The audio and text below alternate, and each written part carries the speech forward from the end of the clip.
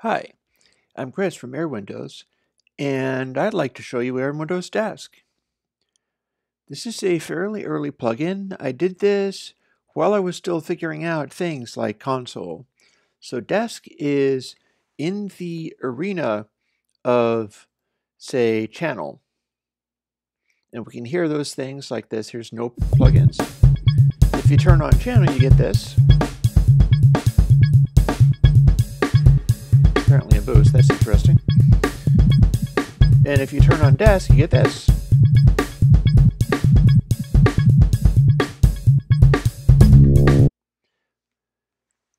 But here's what we're going to do.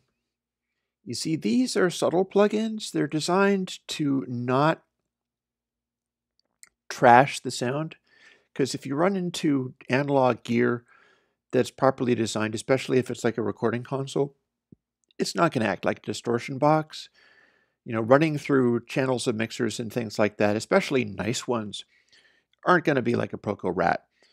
So what we're going to do is force it to be nasty. Here's bit shift gain. Bear in mind, bit shift is 6 dB per bit. So that's 6, 12, 18, 24, 30. 30 dB gain into desk and or channel, and then it's 24 dB gain down so that it doesn't hurt us when we listen to things distorting. And it sounds a little bit like this, but if we turn channel on now, add some distortion. We can do even more like that. So you might ask, so that's channel. Desk is the one that you used to sell when channel was free. So what makes desk such hot shit compared to channel that it used to be worth $50 to people? Mind you, it's, it's sold with trans and tube desk as well, but here, let's show you. This is channel.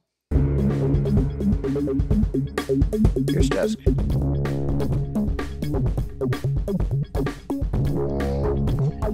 Desk uses a variety of other uh, algorithms and functions. It was the first one designed to do that sort of channel type thing of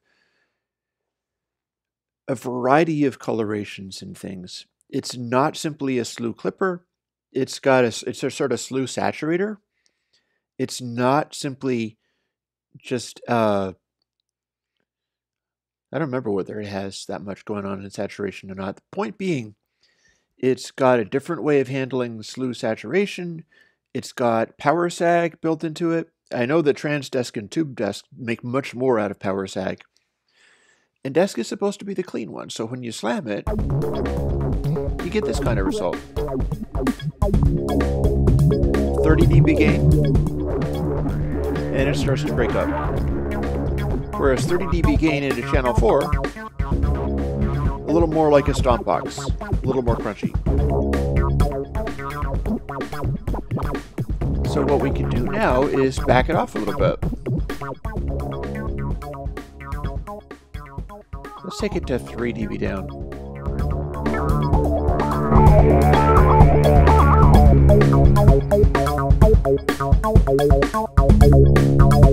So here's what we got. Again, we can put channel 4 on. And that's got much the same result that we had before. It's more of a stomp boxing kind of thing. But then this is dry. And here's desk.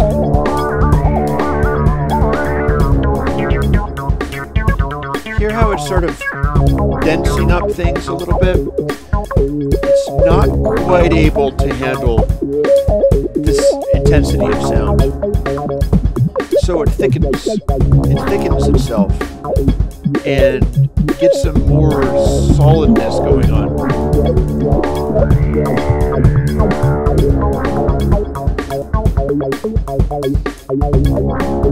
And this is 18 dB up.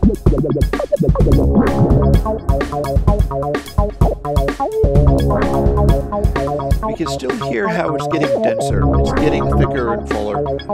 Arguably too much. I mean, the idea here the idea here was that it would work in such a way that you could run almost anything through it and not get an obvious grindy, distorty result out of it. It's a conditioner. So what we're going to do is pull it back even more.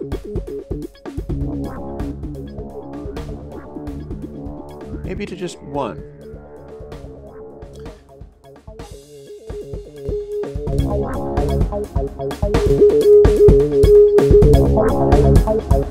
And now if we have channel, it sounds very similar to what it already sounded like. Channel was the one that um, comes across a little bit more like a stomp box. It doesn't have quite the organicness, the size of a proper, you know, console circuitry emulation going on. But then when we cut desk in and out at this amplitude, and this is just 6 dB over zero. So we're, we're slamming it. We're slamming it more than it necessarily needs to be slammed, but that's not so unusual. You could put something like desk early on the mix bus and mix hot into it and then go from that into a peak limiter or a clipper or something like that. Peak limiter would be very suitable because it would preserve some of the saturation and thickening of desk, but then cut back the distortion qualities. What we've got here is this.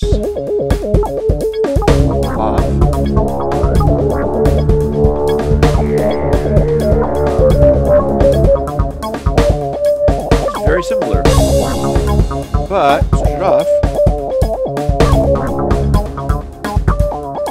That's act. This is actually a music composition that was done on a phone. So this is raw audio that is the essence of DAW. This is the essence of digital summing and digital combining. It happens to go good and loud, but there's no conditioning of any kind. And you listen to it and it's kind of unnatural, kind of rigid. And then we cut in.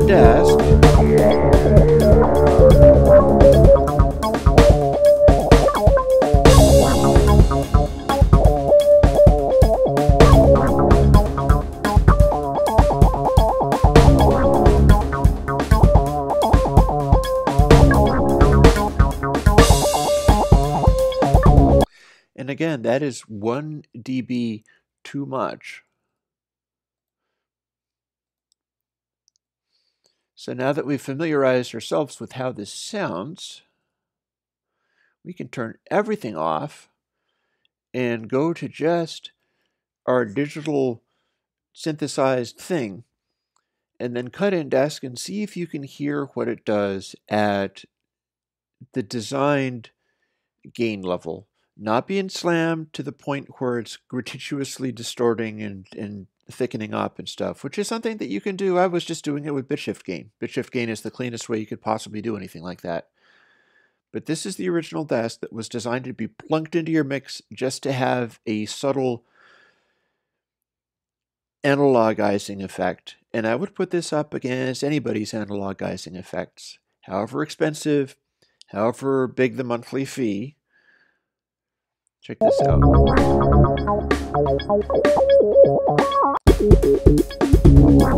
Raw with desk.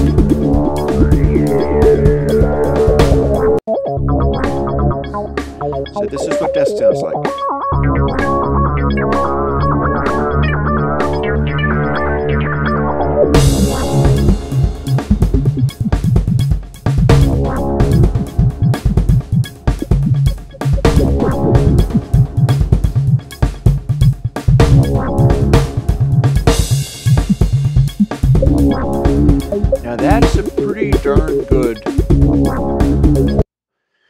That's a pretty darn good one plug-in, no controls, just plunk it down and sound a little bit more analog, a little bit more coming out of a physical device rather than digital abstract mathematics land. And it's got a nice warm organic quality to it And yeah, you can slam it really hard to force it to break up and be obnoxious, and maybe that's even kind of cool. If got the bit shift gains, knock yourself out. But Desk was designed to do the kind of thing that's become very popular. Provide a analog mojo kind of vibe that doesn't get in the way of or destroy everything in the mix, yet it still brings something to the mix. It is the purest of all three plugins of this era, Desk, Transdesk, or TubeDesk, and it's a very good choice for anywhere you want to stick something in there just to have it feel a little bit more analogy. Like if you're doing a full console mix, because it will work with console, what you can do is have your console channel plugins and then the console bus plugin on the bus. And if you've got like Ouses or something like that, you might want to throw a version of Desk on the AUX without doing anything crazy with the gain or anything like that, just to have that slight conditioning quality. Because one of the things that's good about Desk is the fact that it's not over processing. It does the more sophisticated slew saturation thing going on. It does some distortion. It does all of that stuff, but it's really not wrecking the sound. It's just bringing a little bit more roundness, a little bit more your your analog limitations to what would otherwise be a very abstract, mathematical sounding mix. I hope you like Desk. If you ever feel a need to do things like that, I think that this is a great choice. Just grab it and stick it on your. I mean, you can put lots of copies of Desk. I think I'll just take a moment and do exactly that. Let's have some fun. Boop, boop.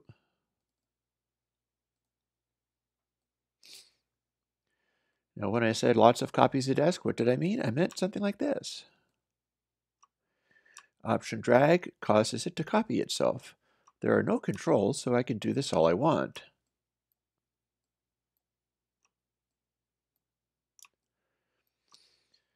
So here's eight desks.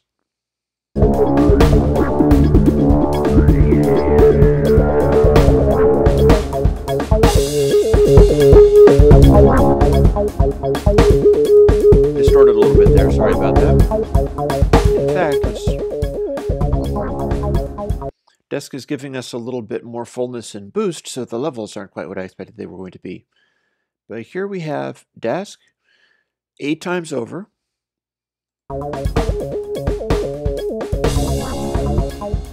As you can see, it's not wrecking the sound.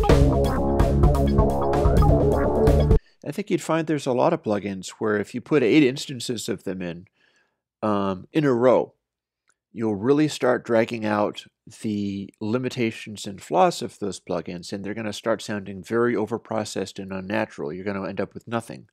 But with Desk,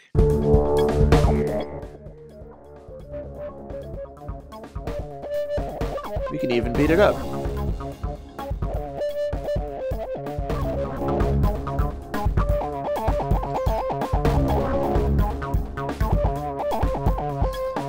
Now that we're having this fun with it, let's start this. Let's just start switching them off one at a time and listen to how it cleans up.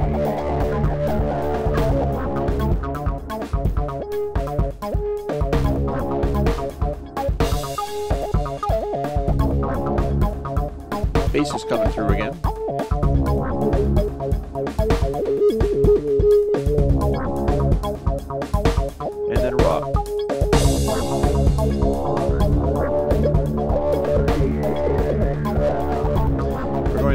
Buses here. So let's make them go back away way again.